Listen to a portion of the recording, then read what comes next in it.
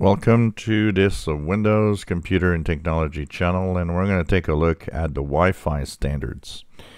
Um, there's been a change in the way that we now will be talking about standards. It used to be by letters, so you had 802.11, uh, A, B, G, N, and so on, and uh, AC, AX, and BE. That still exists, but that's not how it's going to be referred to on most routers today. Now, the Wi Fi Alliance has decided that we should have numbers. So each number higher than the last is a newer generation of Wi Fi and gives new types of capabilities and speeds and frequency ranges. So here you have the chart. The chart tells you what is the equivalent. So for example, the old G standard 802.11G that you see um, on your screen right here is now Wi-Fi 3.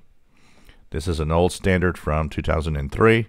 It only uses 2.4 gigahertz range and it tops the speed at 54 megabits per second, meaning, for example, that if your internet speed is 300 megabits per second, you will never be able to reach that speed because you'll be maxed out at 54 because this is old technology. So you'll have to move on to a newer technology of Wi-Fi that gets better speeds. So what I own and what I have here is AC. Mine is a Wi-Fi 5. It's a, a, router that I have for now about four years. And I'm starting to think slowly of maybe changing it for an AX um, router which is the latest technology. And of course, coming in 24, 25, BE will be the next one, Wi-Fi 7. Uh, so this really corresponds to uh, the speeds. So the higher the number, the faster the speed. Now think about those speeds as being the maximum possible, but you uh, probably will never achieve them. This is under really specific conditions and very, very specific hardware that are matched together. But still, you will get much faster speeds at each new technology. So as long as it's faster than your internet connection, it's all that's needed. So once again, for example, I have a internet connection that is uh, three uh, 300 uh, megabits per second. So my AC at 1.3 gigabits per second top speed is fast enough. Actually, I told you that it never connects to that that speed. Well, even though it can go to 1.3 gigabits per second, my highest speed that I reach when I connect to my devices is 867 megabits per second.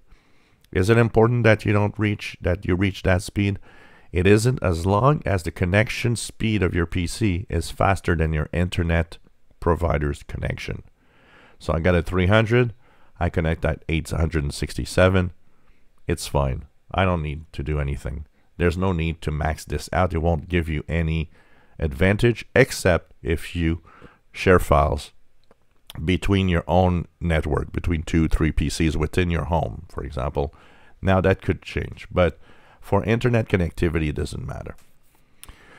Each newer technology also gives new types of encryption for the um, WPA, for example. And so you have WPA2, PA1, PA3.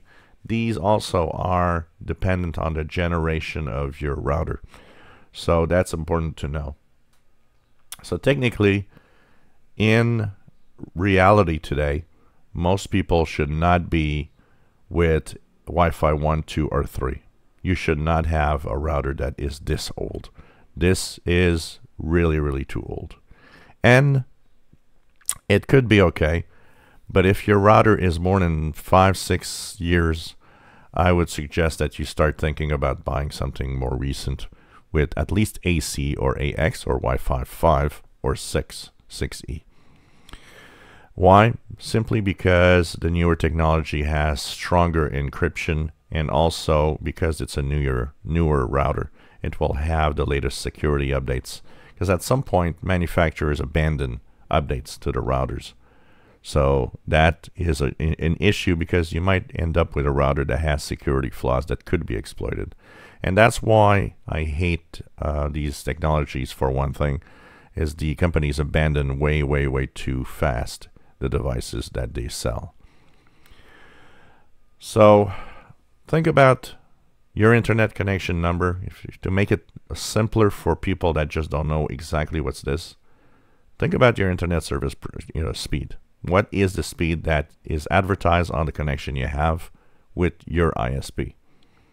Then look at the router you want and look at the router that has faster speed than the speed that you own, that you have.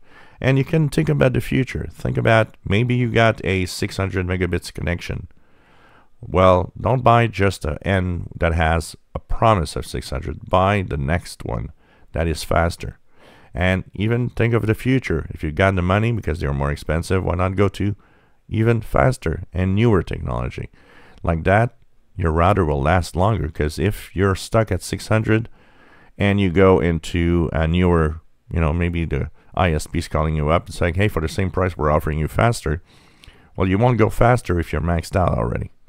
So thinking of something that is more modern is not a bad idea. And for the rest, you should not be running anything below N or Wi-Fi 4. If you're there, it's probably fine but you should not be older than that. Uh, AC is probably what most people should have technically, and AX, newer technology. If you buy something today, don't buy something less than Wi Fi 5 or AC. This is what you should buy today. If you have this and had it for a while, it could still be okay. The N or Wi Fi 4. And of course, in my case, if I'm thinking of buying a new one, I'll probably get uh, AX because I'll probably want to bump up my speed to a much faster internet. So that's the way it is. It goes with mostly speed, frequencies used, uh, and also it goes with um, stronger encryption uh, the more you are in the newer technology on Wi-Fi. If you enjoy my videos, please subscribe, give us thumbs up. Thank you for watching.